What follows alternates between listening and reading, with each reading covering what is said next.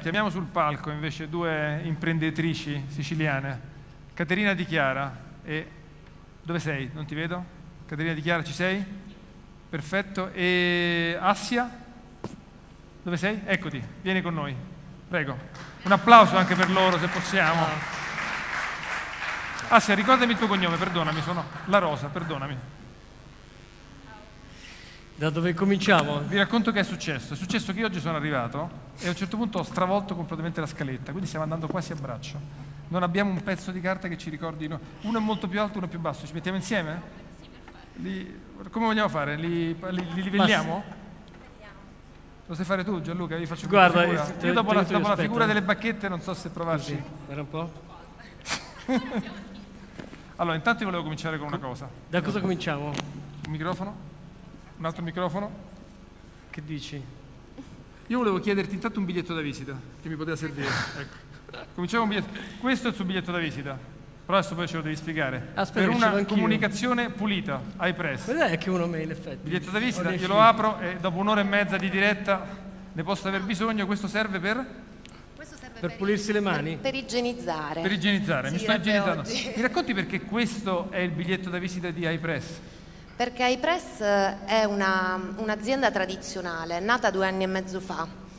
Eh, ha come core business l'ufficio stampa, quindi old quindi- media, un'azienda tradizionalissima, nuova per un contesto come Tu Catania. che comunque. formazione hai? Hai studiato scienze della Io una formazione, sì, ho fatto un percorso inverso, ho studiato a Roma, poi ho studiato a Milano, a Napoli, a Madrid e sono tornata. Scienza della comunicazione. Scienza della comunicazione con eh, un master, un progetto che si chiamava Multimedia Skill, che era un so- progetto del Politecnico di Milano che cercava di formare eh, giovani umanisti e trasformarli in imprenditori. Ed io sono contento della tua formazione perché ne parlavamo prima con Salvo Mizzi, che è un po' il deus ex machina di, di Working Capital. Uno dei filmati di Buttafuoco diceva non cercate gli innovatori, noi mille, fra quelli che studiano scienza della comunicazione. Tu adesso ci dimostri che Buttafuoco si è sbagliato. Raccontaci l'innovazione che hai portato invece. L'innovazione è semplice, io sono una giornalista professionista, lavoravo eh, presso il quotidiano della mia città, la Sicilia, con cui ovviamente continuo ad avere collaborazioni, però a un certo punto mi sono detta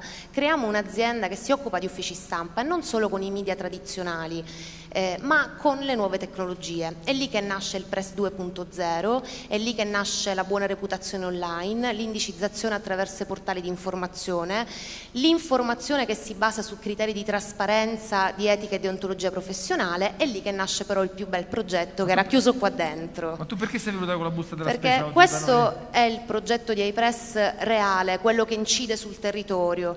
L'anno scorso... Cioè, quando diciamo letteralmente che con i giornali alla fine uno ci deve avvolgere il pesce o le uova, la spesa, tu hai fatto una busta della spesa con i giornali, ma hai fatto anche di più, mi pare. Ti racconto brevemente, l'anno scorso ho fatto un brevissimo corso in impresa sociale. Ci dissero tornate a casa, guardate nelle tasche vos- della vostra azienda e provate a trasformare gli scarti in valore aggiunto per, per il vostro territorio. Bene, noi compriamo tantissimi giornali ogni giorno per la rassegna stampa, così questi giornali non vanno a finire nei rifiuti, neanche in quelli differenziati, vanno a finire nelle mani di disabili mentali, di una cooperativa del nostro territorio che Come ogni la mese cooperativa? la Grazia, è la cooperativa di Caltagirone che noi ringraziamo sempre, dico noi perché è la squadra che lavora per questo progetto Ehm, e questi ragazzi, soprattutto donne disabili, creano queste shopper per noi che poi vengono utilizzate nelle conferenze stampa, che poi vengono distribuite all'interno delle rotative del quotidiano La Sicilia ai ragazzi delle scuole che fanno visita per imparare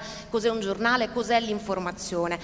E ti dirò di più perché il più bel progetto è, è questo, le pupezze, che sono delle bambole che vengono fatte con, eh, con dei materiali di scarto, eh, sono dei prodotti che- di riutilizzo eh, e adesso vogliamo entrare, vogliamo entrare in questa cooperativa, vogliamo sostenere l'associazione, vogliamo esserci perché l'impresa sì, ehm, ovviamente è business prima di tutto, però per noi sicuramente è etica, per una comunicazione pulita. Bravissima.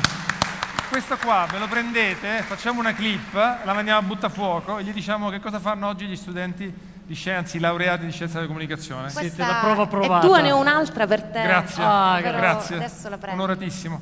Caterina, a te. altro settore completamente. Completamente Caterina diverso. Di Chiara intanto. Caterina Di Chiara, io ho un'impresa familiare e gestisco questa impresa da circa dieci anni. Il mio settore è completamente diverso perché si rivolge alle fonti alternative, quindi noi realizziamo impianti fotovoltaici e da circa 5 anni eh, realizziamo impianti da 3 kW, quindi proprio per singole abitazioni, a grandi impianti. Il eh, più grande di tutti attualmente quello fatto in Sicilia è questo fatto da noi che è di 740 kW.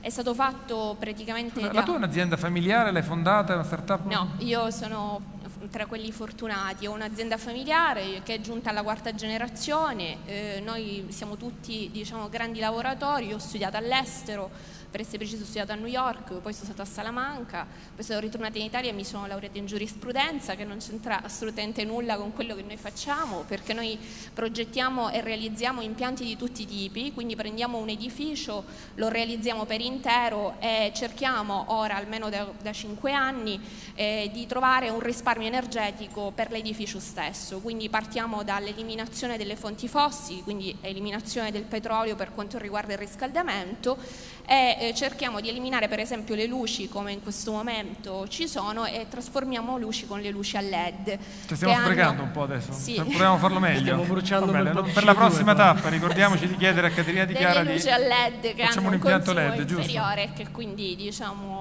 risparmiano da questo punto di vista. Eh, poi in questo momento stiamo finendo, appunto abbiamo finito questo impianto che è di 740 kW e l'abbiamo realizzato eh, grazie praticamente al lavoro di tutti i miei dipendenti. Noi abbiamo tre sedi, una a Palermo, una a Messina e una a Catania. E, mm, abbiamo utilizzato eh, 45 squadre eh, perché ci sono- abbiamo avuto necessità di saldatori, abbiamo avuto necessità di elettricisti, quindi 18 squadre di elettricisti a coppie di due e eh, altre 6 squadre che si sono occupate invece del collegamento, quindi e sopraelevamento, in quanto noi abbiamo realizzato l'impianto su un tetto di un capannone industriale nella provincia di Palermo. E fondamentalmente Non, non c'è neanche una foto dietro, forse non sono partite. Avevo portato Facciamo- qualche foto per fare vedere Le com'era. troviamo su un sito però, dici il sito? Il sito è servizienergiacalore.it Servizi, dillo piano, che Servi- poi ti perdono, ti perdono tutti. servizienergiacalore.it Va bene. È la nostra... Energia e calore.it, Sì. perfetto. Noi praticamente oltre a questo impianto stiamo provvedendo a realizzare anche un eh, impianto di cogenerazione e uno a biomassa. Ti chiedo una cosa, una delle categorie della gara di quest'anno del Tour de Mille è relativa, lo diceva prima Gianluca Dettori, al clean tech. Tutte le tecnologie per l'ambiente, l'energia, eccetera. Voi andate a vedere le università tra i ricercatori, Sì, infatti sì, noi abbiamo una collaborazione con l'Università degli Studi di Messina e con l'Enea di Roma. Eh, noi stiamo cercando praticamente di realizzare degli impianti fotovoltaici per le facciate, quindi l'integrazione totale dell'impianto nella facciata principale di un edificio, quindi di una nuova costruzione. Questo farebbe sì che oltre alla diminuzione del 30%, quindi del risparmio ca- del caldo e quindi anche nello stesso tempo del freddo, quindi ehm, darebbe l'energia elettrica allo stesso edificio, se mettiamo il caso è un edificio di abitazioni, alle abitazioni all'interno di questo edificio. Chiaro. Una delle cose che ci diceva prima Linnea, la- difficoltà per le donne di fare impresa. Lei ce lo dice guardandola da Milano. Oggi abbiamo sentito che a volte la Sicilia si sente periferia dell'impero. Alla fine è uguale, se uno ha una buona idea, maschi e femmine siamo uguali o partite un po' No. svantaggiate? Secondo la mia, diciamo, mio vissuto, eh, si parte eh, nel mio, diciamo, da me sono io e mia sorella, quindi noi siamo tutte due donne, non siamo in competizione, io sono la più piccola, però ho una visione diciamo, di più di sacrificio nei confronti dell'azienda perché ho iniziato con mio nonno a lavorare, ho- quindi di conseguenza ho eh, questo impegno e lo vedo. Eh, sicuramente una donna eh, ha più difficoltà perché viene all'inizio presa come non capace, però in realtà le capacità sono Non le stesse. capace? Sì. E tu che dici? Ah. Noi siamo tutte donne, tutte al femminile. Ottimo, Brave. bravissima. Io, eh, Ammazza. la cosa Però vi siete bella... mettere tutte insieme. Dalla social, consulente che del altro? lavoro alla commercialista, alle giornaliste, all'operatore video, tutte donne, tutto un mondo al femminile. Quanti siete? Tra- eh, in azienda dentro 5, ancora una piccola azienda in fase di start-up, è nata due anni fa con diversi collaboratori. Brave. Il logo è fucsia, quindi non si può sbagliare. Eh, diciamo che la, la- la cosa ne parlavo con la professoressa Schillaci che ha seguito tra parentesi la fase di start-up start-up e ci è stata molto, molto vicina. Ehm, la scelta è avvenuta per affinità elettiva, ma lo dico realmente, eh, e noi siamo una famiglia. Io per questo voglio ringraziare Valentina, Filli, eh, Lusi, Lidia, Ursula, tutte quelle che lavorano con me perché è una grande squadra e, e al femminile veramente va avanti spedita. Io sono molto contenta di questo. Viva il rosa, viva il fucsia nel nostro caso. Va bene, su Brave. questo vi salutiamo e vi ringraziamo. Grazie Assia, grazie Caterina, grazie di bella, queste belle storie che ci avete raccontato.